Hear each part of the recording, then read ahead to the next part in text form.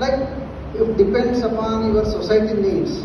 If your idea suits for the poor people, definitely your idea will be blindly given to 10 lakhs. Blindly, they won't stop you. So much of funding is there.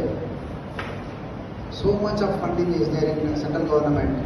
For each and every heads, they are giving some amount. If you are not utilizing that amount, that amount will be returned to central government of India. That's why they are trying to spend that amount. All the education institutions, all this uh, funding project, they are uh, assigning these works.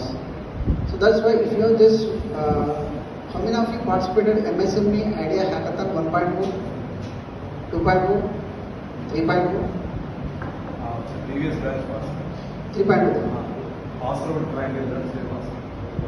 See, MSME, micro, small, medium enterprises, they are giving 15 lakhs rupees. That is within our state itself. That MSME development office is at Balanagar. So they are going to make fund of 15 lakhs. Just if you participate in that event, project your idea, and if that suits the society, then definitely your idea will be selected.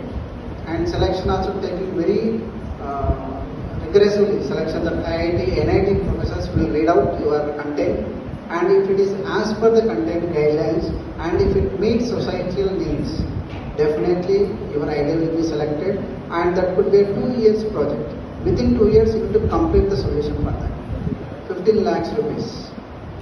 So like that, we Malla Reddy Engineering College got MSME 1.2 15 lakhs, 2.2 15 lakhs, but unfortunately we couldn't get any 3.2.